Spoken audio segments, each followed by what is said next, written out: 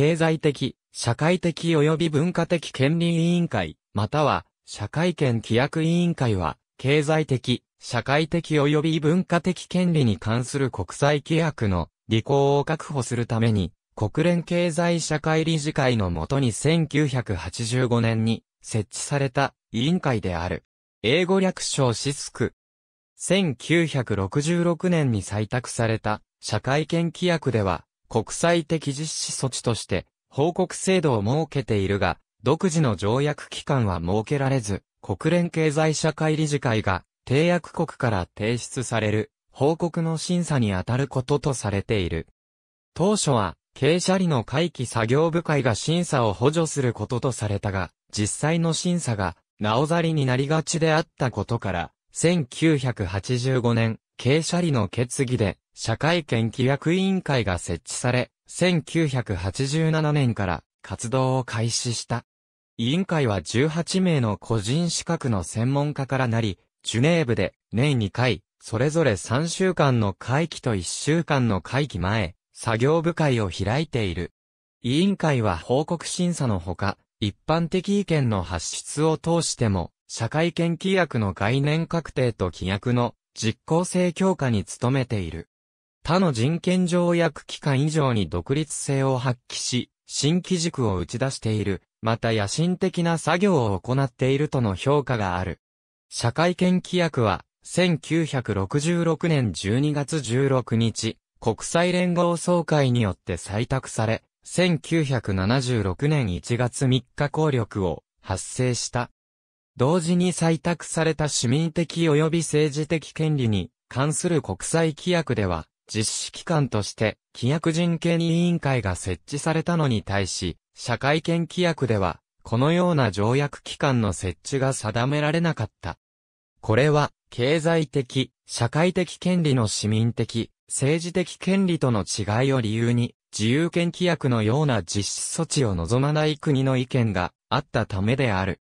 その結果、社会権規約が定める唯一の国際的実施措置である報告制度については、締約国は国連事務総長に政府報告書を提出するとともに、その写しを経済社会理事会に提出し、独自の実施機関ではなく経社理がこれを審議することとされた。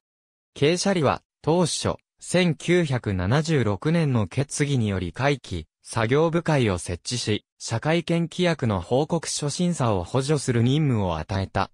作業部会は、締約国の代表15名から構成され、その選出に際しては、地理的配分に考慮を払うこととされた。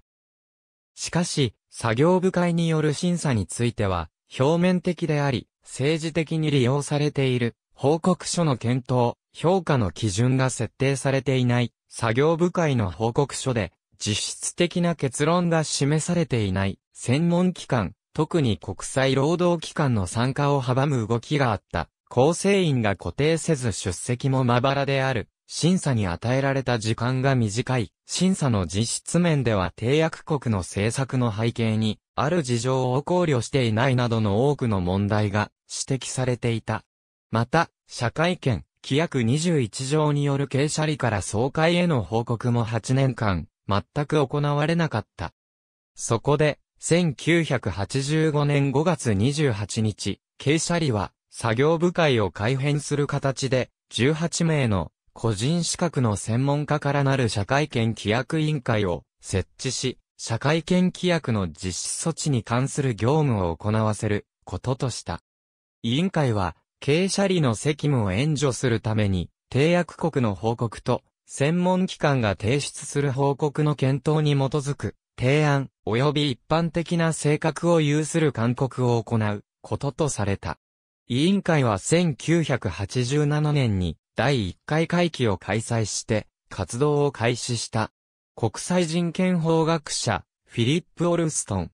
社会権規約委員会が活動開始した1987年から1991年まで報告者を務め、1991年から1998年まで委員長を務めた。社会権規約委員会は他の人権条約機関と異なり、条約上明示的な基礎を持たない点、また委員は締約国ではなく、経社理により選ばれる点で、正確には条約機関ではないとされる。しかし、他の人権条約機関以上に独立性を発揮し、規範や概念の明確化作業に取り組んでいると評価されている。その背景として、委員会設置当初から委員を務めた、オーストラリア出身の国際人権法学者、フィリップ・オルストンを、はじめ、有力な法律家が委員として揃ったことが、貢献しているとされる。2008年12月10日、国連総会で、個人通報制度、国家通報制度、調査制度を定める、経済的、社会的及び文化的権利に関する国際規約の選択議定書が採択された。これが発行すれば、委員会に新しい任務が加わる。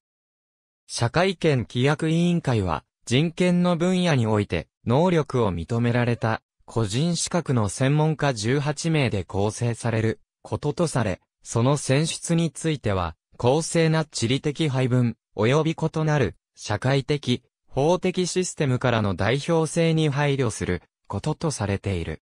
委員は、社会権規約締約国の推薦したもののリストの中から、傾斜里で秘密投票により選挙される。任期は4年であり、再選可能である。2年ごとに半数が改選される。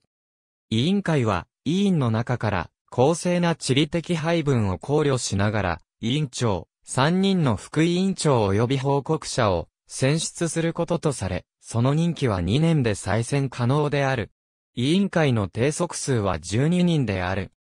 各委員には1票ずつの投票権があり、多数決によって決定を行うことができるが、コンセンサスによる意思決定を行うよう努力することとされており、実際、委員会では、すべての意思決定をコンセンサスで行っている。2012年現在の委員は次の通りである。国連人権高等弁務官事務所が事務局を務める。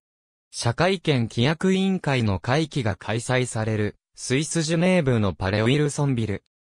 社会権規約委員会は、当初の傾斜離決議においては、毎年最大3週間の会期をジュネーブとニューヨークで、交互に開催することとされていたが、開催地については、1986年、ジュネーブとすることが決定された。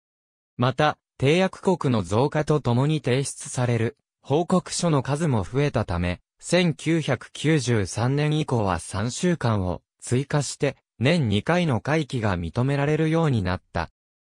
1995年、締約国の数が委員会設置当時の1.5倍を上回る133カ国となったことを踏まえ、傾斜里は、恒常的措置として、年2回、5月と11月から12月に、それぞれ3週間の会期を開くとともに、それらの会期に引き続き、次回会期の検討事項を準備するため、委員5名による5日間の会期前作業部会を開くことを認めた。委員会の公用語は、アラビア語、英語、フランス語、ロシア語、スペイン語であり、作業言語は、英語、フランス語、ロシア語、スペイン語とされている。議事は、委員会で非公開とする決定を行わない限り、公開で行われる。委員会の報告書、正式の決定その他の公式文書は、原則として一般に公表される。報告書の提出義務社会権規約の締約国は、規約において認められる権利の実現のために取った措置、及びこれらの権利の実現についてもたらされた進歩に関する報告を提出することとされている。社会権規約自体には、締約国による報告書提出の時期については、具体的な定めはなく、17条で傾斜里に委ねられている。傾斜里は、当初、規約の個別的権利規定を6条から9条まで、10条から12条まで、13条から15条までの3つに分け、それぞれ2年間で提出することとしていた。これは ILO、FU、FAO、ユネスコのような専門機関が関与しやすいよう、各専門機関の分野に対応して審査を分けようとしたものであったが、ソ連等の ILO への反感が原因となって専門機関の関与は進まなかった。他方で、1カ国の審査を終えるのに、最低6年を要し、締約国の負担が大きい上、各国の全体的な状況を把握しにくいという弊害があった。そのため、1988年から単一の包括的報告書を5年ごとに提出することとされた。1995年1月以降提出の報告書はすべてグローバルレポートとなっている。報告ガイドライン社会権規約委員会は、報告書の形式及び内容について締約国に指針を与えるため、報告ガイドラインを定めている。2006年、各人権条約に共通な事項の報告をまとめた共通コア文書と条約別文書に分ける調和ガイドラインが成立したことを受けて、2008年に社会権規約の条約別文書の報告ガイドラインが改定された。同ガイドラインによれば、条約別文書には、規約1条から15条までの法律上及び、事実上の実施に関する情報を、委員会の一般的意見や、規約上の権利の実現に影響する最近の進展を考慮しつつ、具体的に記載することとされている。また、権利の実現に向けての具体的な取り組み、実績について、さらに第2回以降の定期報告書では、前回委員会の最終所見で指摘された事項に関する取り組みについても記載することとされている。その上で、1条から15条までに分けて記載すべき、事項が詳細に規定されている。報告審査の方法報告審査にあたっては、質問票方式が取られている。まず、会期前作業部会で、2回期分または18ヶ月先までの審査予定国についての質問票が作成される。その目的は、その後の建設的対話で主要な論点となるであろう、事項をあらかじめ特定し、審査の効率化を図るとともに締約国代表者の準備を容易化することである。作業部会で作成された質問票は締約国に送付され、審査前に書面で回答を提出することが強く要請される。回答の準備には少なくとも6ヶ月が与えられ、質問票と回答は、大クレのウェブサイトで公表される。口述の通り、NGO から委員会への情報提供も行われる。委員会の会期における報告書の審査には、当該締約国の代表者が出席することが求められ、審査のあり方は建設的対話と呼ばれる。最初に締約国代表者が報告書の簡単な紹介を行い、関連する新しい情報があれば、それを提供する。その後、社会権規約の条文をクラスターに分けて、質問票への回答を踏まえながら、委員からの質問が行われ、検討、調査を経ずに、すぐに回答できるものは締約国代表者からの回答が行われる。その場で回答できないものは、後の会合または、書面で回答がなされる。最後に、委員会は、総括書簡を作成する。委員会は、建設的対話の終了後、非公開の会合を開いて、意見交換を行う。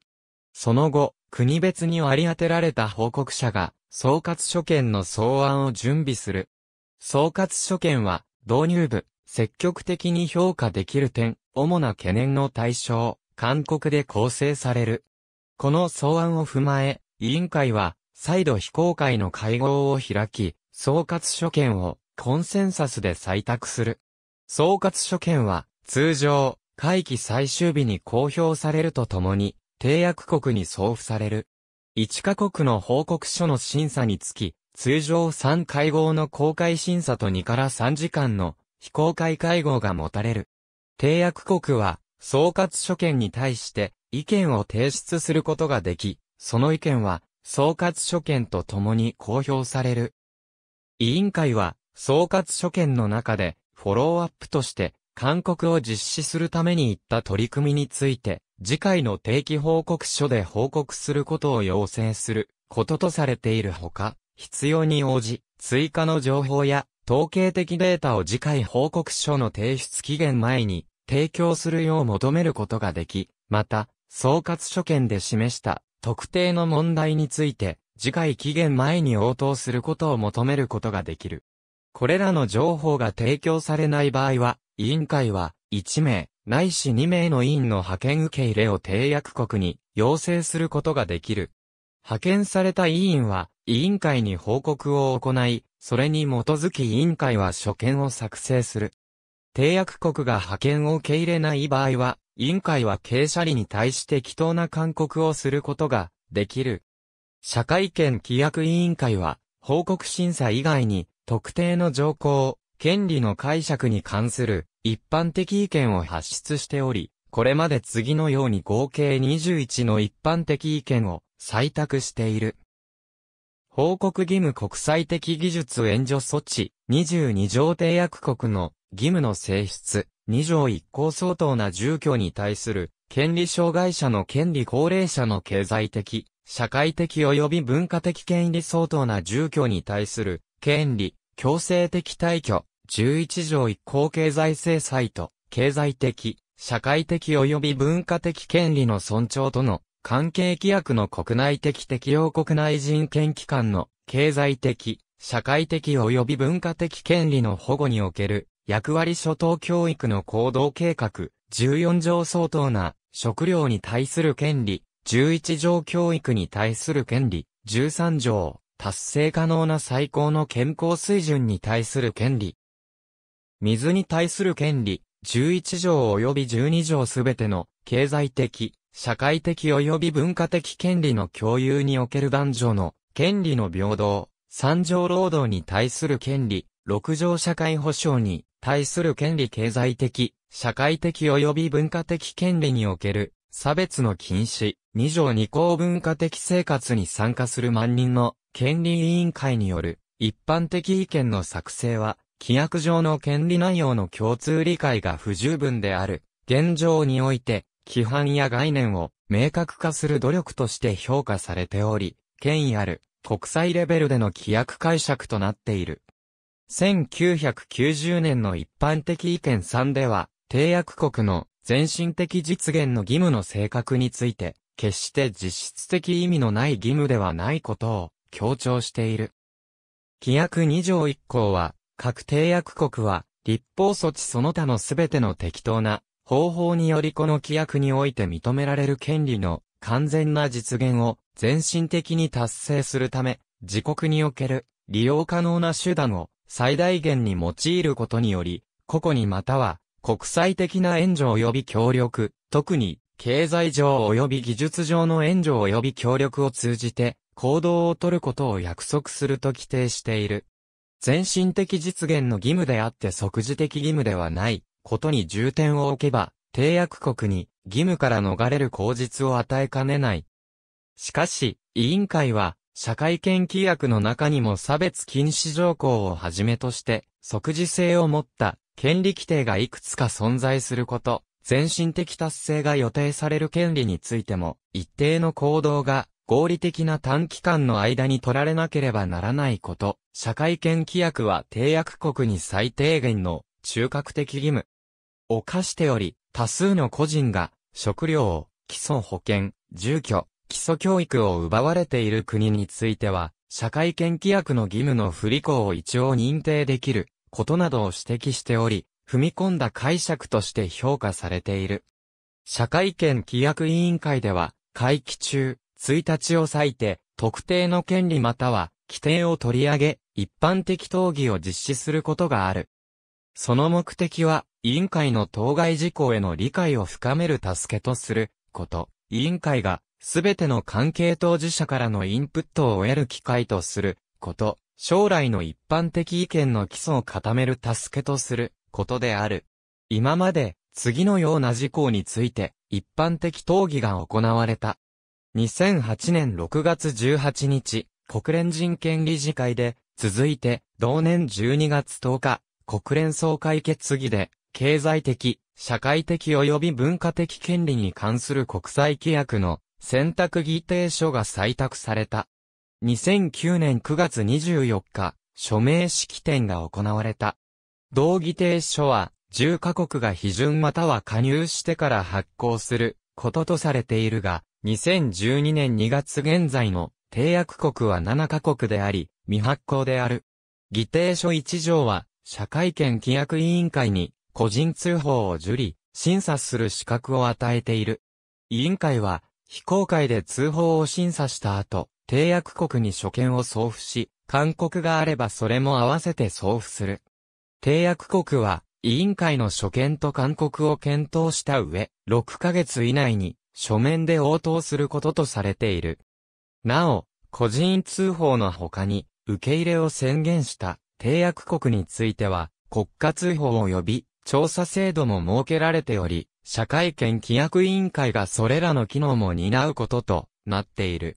委員会は、情報を広く収集するため、報告審査、一般的討議、一般的意見の基礎の各場面において NGO の参加の機会を保障している。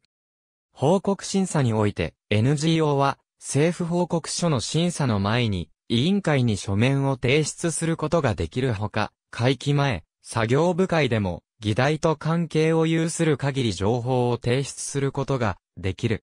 また、委員会の各会期の初日には NGO 代表者が口頭で情報提供を行う公開の会合が設けられる。政府報告書に関して提出された NGO の意見書は、オークレのウェブサイトへの掲載等により、関係締約国にも知らされ、締約国がこれを読んでいることを前提に、建設的対話も行われる。委員会では、これらの NGO の参加方法について、ガイドラインを設けている。また、一般的討議の場や、一般的見作成の過程で、関係する専門機関を含む国連機関の知見活用を図っており、国連人権理事会の特別報告者や作業部会議長等、その他の専門家を呼んで議論に参加してもらうこともある。国連文書については、文書番号をもとにヨッズまたはアンビズネットから検索可能である。国連文書中のページ番号を示しているものは、英語版による。ありがとうございます。